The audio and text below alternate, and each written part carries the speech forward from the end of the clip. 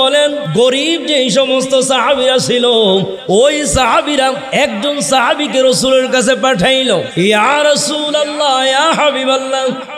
গরিব পক্ষ থেকে এসেছি। গরিব আমাকে আপনার কাছে পাঠাইছে। আনাস ইবনে মালিক ডাক দিয়া কয়, ওই সাহাবী বলতেছে, নবী গো, গরিব সাহাবীদের পক্ষ থেকে এসেছি। আমার রসুল ডাক কয় ও সাহাবি, তুমিও যে ধনিয়া মোল্লাম তুমিও গরিব, তুমি আসছো গরিব সাহাবি থেকে।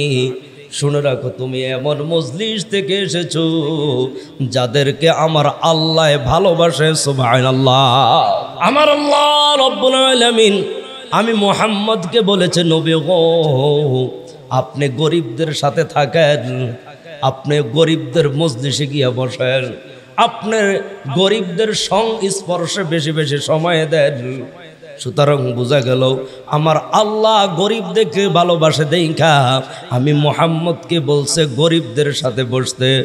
জোরে সুবহানাল্লাহ। ওই গরিব সাহাবী বলতেছে গরিব সাহাবাই কারামেরা আমাকে আপনার কাছে পাঠাইছে। সাহাবিরা কেন পাঠাইছে? বলে, এটার কারণ হলো সাহাবিরা বলে, নবে গো, আমরাও আল্লাহর সৃষ্টি, ধনীরাও আল্লাহর সৃষ্টি। ধনীদেরকে আমার আল্লাহ ধন সম্পদ অনেক দিয়েছে, টাকা পয়সা অনেক দিয়েছে গো নবী। যার কারণে তারা জাকাত দেয়। যার কারণে তাকে হ, তারা হজ আদায় করে। যার কারণে তারা দান, সদকা আদায় করে। যার কারণে তারা অসুস্থ ব্যক্তিদের সেবা করে। যার কারণে তারা গরিব দুঃখীদেরকে সহযোগিতা করে। আমরা গরিব হওয়ার কারণে এই ফায়দা থেকে, এই সওয়াব থেকে আমরা বঞ্চিত। সুতরাং বোঝা গেল, ধনীরা সওয়াবের দিক দিয়া অনেক অনেক গুণ আউগে গেছে। যেরকম সবাই আল্লাহ হ্যাঁ ও সাহাবি, গরিব সাহাবিদেরকে শুনাইয়া দাও। আল্লাহ আমাকে জানাইয়া দিছে, গরিব সাহাবিদের এমন তিনটা মর্যাদা আছে গো। ধনী সাহাবিদের এই তিনটা মর্যাদা নাই। ধনী সাহাবিদের এমন তিনটা মর্যাদা নাই। গরিব মোমেন ইমানদারদের যেই তিনটা মর্যাদা আছে, এক নম্বর হলো যারা নাকি দুনিয়াতে গরিব থাকবে গো, তাদের জন্য আমার আল্লাহ স্পেশাল ইয়াকুত পাথর দিয়া একটা ঘর জান্নাতে বানায় রাখছে সুবাহ আল্লাহ দুনিয়ার কোনো প্রভাবশালী মানুষ সেটা পাবে না। দুনিয়ার কোনো কুটিপতি সেটা পাবে না। দুনিয়ার কোনো দাপটওয়ালা বাংলা এটা পাবে না গো। এটা একমাত্র গরিব ইমানদার বান্দারা পাবে। জোরে কন সুবাহ আল্লাহ লাল রঙের ইয়াকুত পাথরের দাম কেমন হবে? একটা পাথর যদি এই জমিনের মধ্যে পালান ফেলে দেওয়া হয় আমবৈশা রাত্রের ভিতরে পুরো পৃথিবীকে আলোকিত করে দিবে। এটার নাম হলো লাল ইয়াকুত রঙের পাথর। পুরাটা বিল্ডিং যদি নাকি লাল ইয়াকুত রঙের পাথর দিয়া হয়ে থাকে, তাহলে ওই বিল্ডিংটার আলো কেমন হবে? আমার রসুল্লারও ডাক দেখো হ্যাঁ সাহাবি শোনাম গরিব সাহাবিদেরকে জানায় দাও।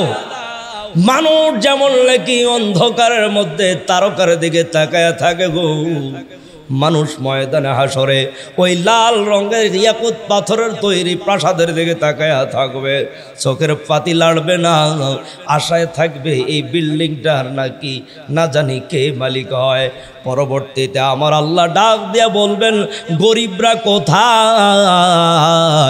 যারা গরিব হইয়াও আমার এবাদতে ভুল করো নাই।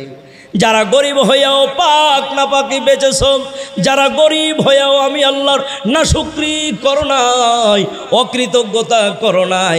বিল্ডিংটার দিকে তাকাইয়া দেখো গো, প্রত্যেক গরিবের জন্য, প্রত্যেক দরিদ্রের জন্য আমি আল্লাহ এমন একটা ইয়াকুত পাথরের নির্মিত বিল্ডিং নির্মাণ করে রেখেছি জোরকন সুবাহ আল্লাহ হ্যাঁ পৃথিবীর মানুষের একটা বিল্ডিং জমিনের মধ্যে করেছ। সবচেয়ে দামি দামি জিনিস দিয়ে এটা কতদিন সর্বোচ্চ একশো বছর? একশো বছরের পরে এই বিল্ডিং এর অস্তিত্ব থাকবে না, তোমারও অস্তিত্ব থাকবে না, তুমিও জমিনের সঙ্গে মিশে যাইবা।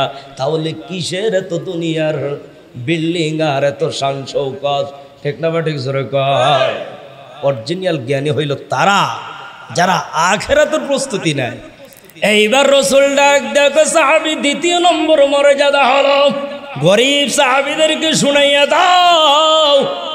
ধনীদের চাইতে গরিবেরা আমার আল্লাহর হুকুমে পাঁচশো বছর আগে জান্নাতে ঢুকে যাবে। সোবাহ আল্লাহ ফকিহ আবুল্লাহ সমরকন্দি রহমতুল্লাহ তাম্বিহুল গাফিলেন কিতাবের মধ্যে এর ব্যাখ্যার মধ্যে লিখেছেন হজরত সোলাইমান নবী হইল আল্লাহর নবী। হজরত সুলাইমান নবী হইল আল্লাহ পাকের বন্ধু। এই সুলাইমান নবীকে আমার আল্লাহ দুনিয়ার মধ্যে টাকা, পয়সা, প্রভাব, প্রতিপত্তি অনেক দিয়েছেন বিদায়। এই সুলাইমান নবীও গরিবদের দশ হাজার বছর পরে জান্নাতে যাবে জোরকন সুবাহ কেন? একটাই কারণ, ও সুলাইমান, দুনিয়াতে তোমাকে ধনী বানিয়েছি, দেখা, তুমি সুলাইমান আমার নবী হতে পারো, তুমি সুলাইমান বাইতুল মোকাদ্দাস নির্মাণ করতে পারো, তুমি সুলাইমানও গরিবের দশ হাজার বছর পরে জান্নাতে যাইবা যেরকম সবাই আল্লাহ হ্যাঁ মুসলমান ভাই বন্ধুরের থেকে একটু বুঝ জানেন গরিবের কত দাম গো? এই গরিবী হালতটাকে আমরা ঘৃণা করি। এই গরিবী হালতটাকে আমরা লাথি মারি। আমরা এই গরিব হওয়াটাকে অভিশাপ দেই। মনের মধ্যে আসা জাগে, হায় রে, আমি কেন ধনির ঘরে জন্ম নিলাম না? হায় রে, আমি কেন কুটিপতির ঘরে জন্ম নিলাম না? হায় রে, আমি কেন বিশতলা বিল্ডিংওয়ালা মালিকের ঘরে জন্ম নিলাম না? আমি কেন একজন লেবারের ঘরে জন্ম নিলাম? আমি কেন একজন রাজমিস্ত্রির ঘরে জন্ম নিলাম? আমি কেন একজন সাধারণ কর্মচারীর ঘরে জন্ম নিলাম? আমি কেন অফিসারের ঘরে জন্ম নেও নেই নাই। ও বান্দা, তোমার প্রতি আল্লাহর দয়া আছে। যেরকম সব তোমার প্রতি আল্লাহর দয়া আছে।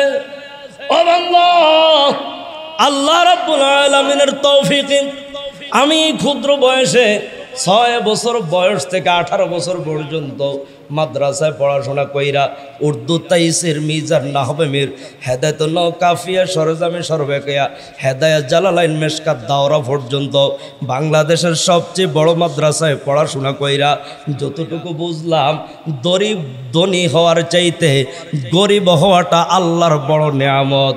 জোরে কনসবাহ আল্লাহ ধনীদের এত প্রশংসা করা হয় নাই, কোরআনেও করা হয় নাই। ধনীদের প্রশংসা হাদিসও করা হয় নাই। ধনীদের ব্যাপারে শুধুমাত্র ভয়। ধনীদের ব্যাপারে শুধুমাত্র ভয়। বান্দারারে খাইয়াল বান্দারারে চইলাল বান্দারারে আরামায়েশ কইরাল প্রত্যেক পদে পদে হিসাব দিতে হবে আল্লাহর কাছে। টেকনোমেটিক জোরে কর। হ্যাঁ পৃথিবীর মানুষেরা এই যে একটু আগে মাত্র হাদিস শুনাইলাম, দরিদ্রদের, দরিদ্ররা, গরিবেরা ধনীদের পাঁচশত বছর আগে জান্নাতে চলে যাবে, কেন? হিসাব কম। সোহান কন। কেন?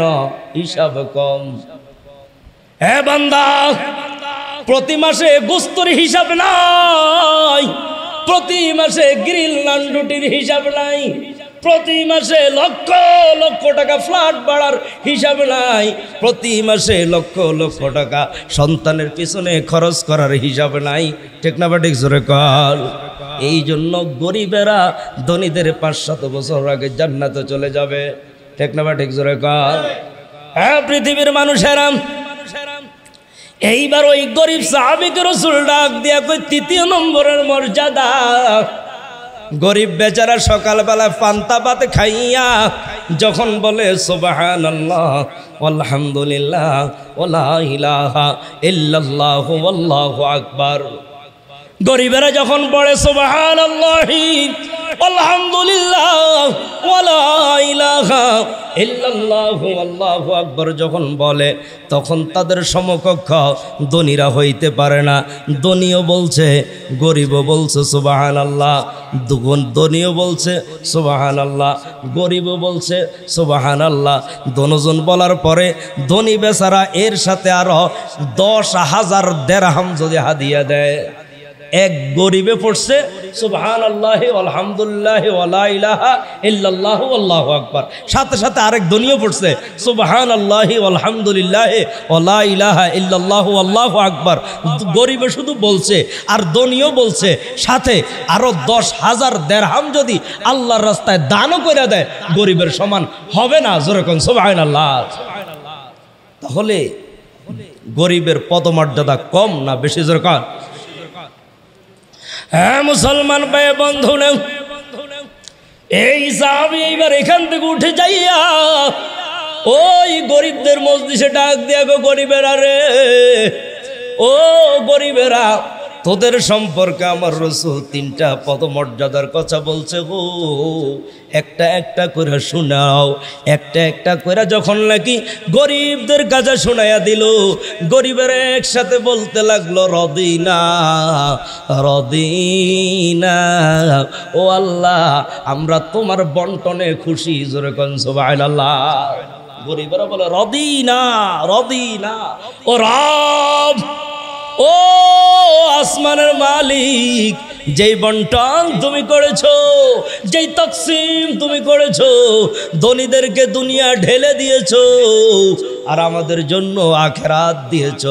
আমরা আপনার বন্টনে, আমরা আপনার তকসিমে রাজি এবং খুশি। জোরে কনসবাইল আল্লাহ বিখ্যাত তাবিঈন খাইসামা রহমতুল্লাহ বলেন আল্লাহ রব্বুল আলমিনের ফেরেস্তারা আল্লাহ রব্বুল আলমিনকে ডাক দেয়া কয়, আল্লাহ গো, কাফেরদেরকে দুনিয়া দিলা, কাফেরদেরকে বালা মুসিবত দিলা না, কাফেরদেরকে ঘর দরজা দিলা কাফেরদেরকে এমনইভাবে বেদুনিয়া দ্বারাদেরকে তুমি টাকা পয়সা কোনো কিছু কম দেও নাই। কিন্তু যারা তোমাকে তাহাজ্যতর সময় ডাকে, যারা তোমাকে পাঁচ অক্ত নামাজের পরে তোমাকে ডাকে, ও আল্লাহ, তুমি তাদেরকে দুনিয়াও দেও নাই। আর কথায় কথায় কেবল বিপদ দাও। ও আল্লাহ, এটা তোমার কেমন বন্টন? এটা তোমার কেমন তকসিম?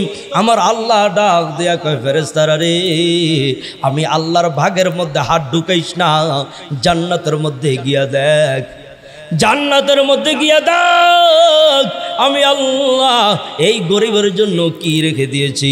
ফেরেস্তারা তখন জান্নাতে গিয়া দেখে, এইবার আমার আল্লাহ ডাক দেয়া কয়, ও ফেরেস্তারা আমি আল্লাহর বন্টনের মধ্যে হাত যখন দিলি, এইবার যারা নাকি যাদেরকে আমি আল্লাহ দুনিয়া দিলাম, যাদেরকে আমি আল্লাহ সম সম্পত্তি দিলাম, যাদেরকে আমি আল্লাহ প্রভাব প্রতিপত্তি দিলাম, তাদের জাহান্নামটা একটু তাকায়া দেখ।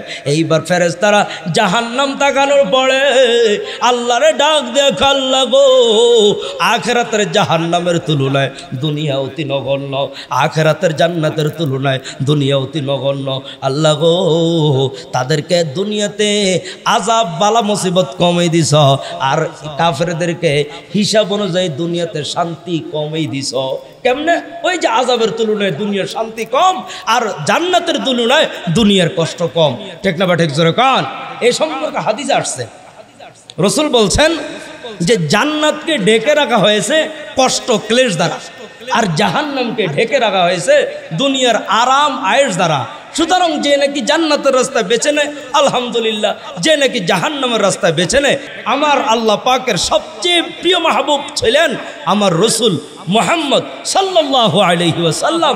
এই রসুলকেও তো আমার আল্লাহ এই দুনিয়ার পাহাড় পরিমাণ স্বর্ণ দিতে চেয়েছিল, মাঠ বড়া রূপা দিতে চেয়েছিল, দুনিয়া দিয়ে দিতে চেয়েছিল।